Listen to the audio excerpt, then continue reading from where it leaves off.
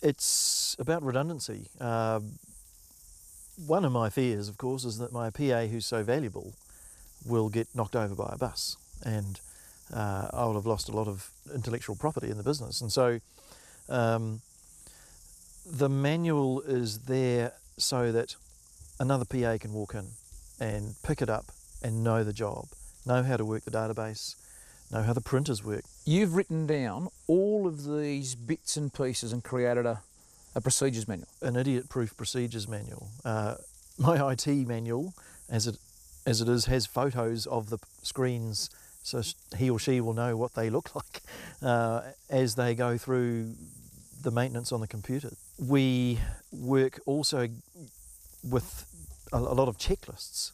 Um, it's, a, it's an old banking discipline, of course, is again redundancy.